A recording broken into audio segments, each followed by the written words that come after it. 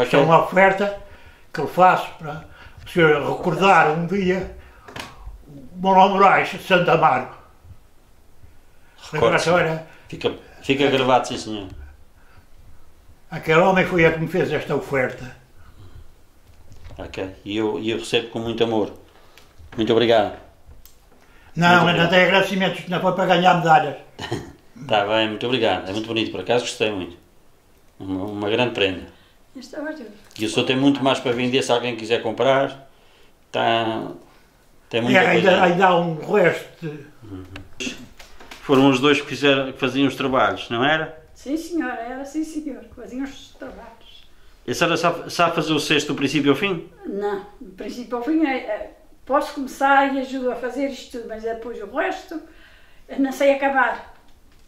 Tinha aí uma fotografia que estava a E, fazer faz- um e fazer o fundo, a senhora sabe? O senhor vai lá. Depois voltei a percorrer o nosso lindo Portugal, pois queria ver sentir seus encantos sem igual.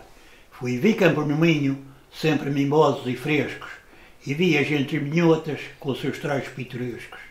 Em trás os montes alpestres, com os seus valos sombrios, vi águas dos altos montes despinharem-se nos rios, e no Douro verdejante com vinhedos e choupais, ouvi os sinóis à noite cantar suspiros e ais. Nas acidentadas beiras vi brilhar a branca neve, perto das pinhas douradas, onde o ar já é leve. Percorri a Extremadura, que lindas férteis campinas, onde cresce louro trigo e pastam vacas torinas. No Alentejo vi hermeses, ondeando como mar, e muitas casinhas brancas como noivas a noivar. E mais ao sul, no Algarve, terra das amendoeiras, vi os coentros doces frutos que pendem das figueiras. Não para aqui meu encanto, que deslumbra o meu olhar. Vamos, meu coração, vamos para as terras de Além-Mar, onde os Açores emergem como pérolas mimosas, e onde a ilha da Madeira tem o perfume das rosas. E por sua formosura era a princesa dos mares, mais adiante Cabo Verde e a Guiné com seus palmares. São Tomé e as suas roças, em Angola descansei, e o ramos do embondeiro a sua sombra gozei. Passo Qual e Moçambique, que tão lindo porto tem, depois de ir da mão e Goa, Macau e Timor também.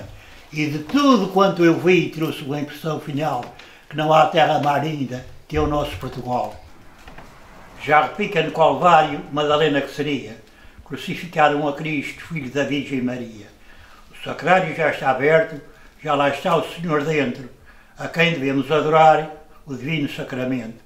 Sacramento divinado que estás em tantas alturas, dai-nos luz às nossas almas, não nos deixeis às escuras.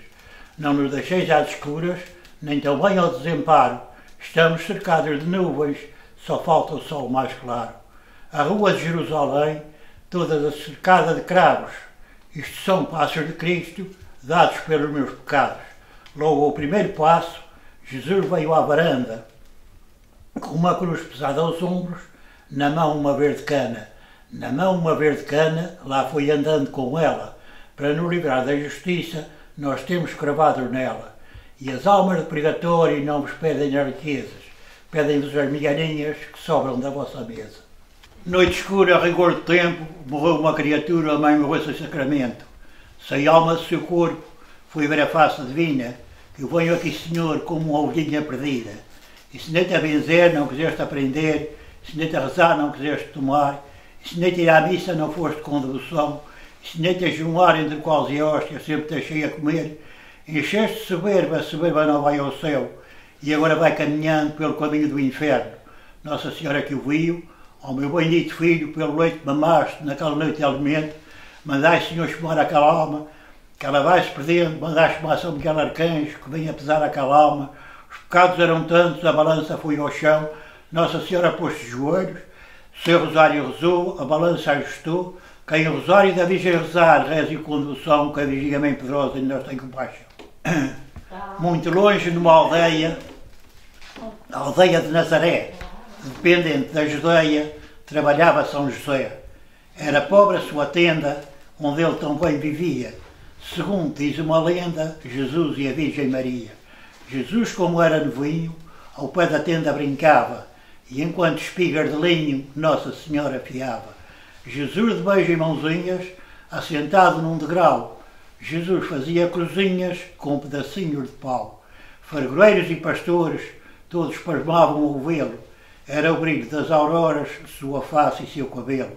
Com uma estranha fremesura, em seus olhos lucentes, como um olhar de ternura, atraía os inocentes. Crianças de rostos brancos queriam brincar com Jesus, pediam-lhe lírios brancos para enfeitar cada cruz. Elas, como o mês dourado, corriam campos sem fim, e ao voltar expiravam, dizendo todas assim: Não há lírio na devesa que mereça armar a cruz, lírio da neve pureza, só tu, menino Jesus.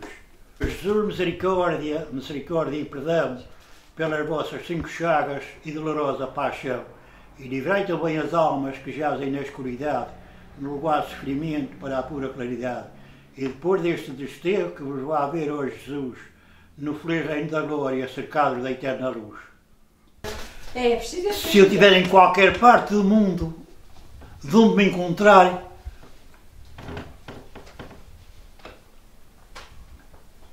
fica o, le, o leste na frente, o oeste atrás, o sul à direita e o norte à esquerda.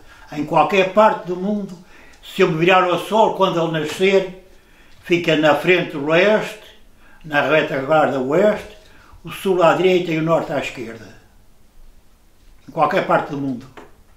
Por exemplo, os meses do ano, janeiro, fevereiro, para o 30 dias tem novembro, abril, junho e setembro. 28 só tem um e os outros mais é 31. Janeiro, fevereiro, março, abril, maio, junho, julho e agosto. São lembro 31, julho e agosto.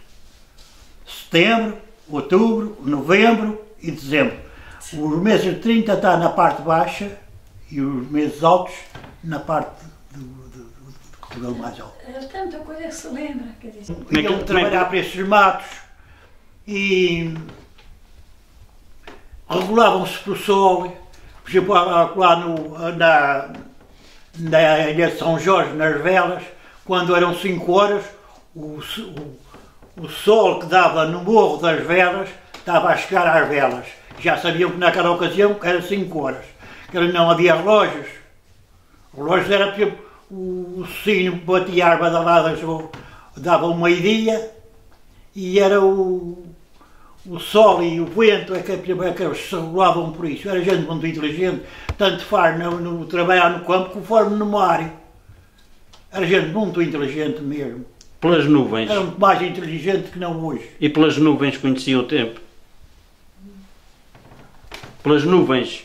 Para as nuvens, sim, e o pico, o, o pico regulavam-se para o nosso pico, lá. Era gente muito inteligente, parece-me que era, tinham mais inteligência que não hoje, porque hoje ainda se dá de, de- de grandes desgraças e têm, eles têm tudo, todos os mecanismos, sabem o- a, a fundura do mar e, e todas, todas essas. E se estão perto da costa ou não estão, naquela ocasião, se havia força de brume, chegavam mesmo perto da costa, enquanto à vista não havia, não sabiam o que é que havia. Era gente muito inteligente.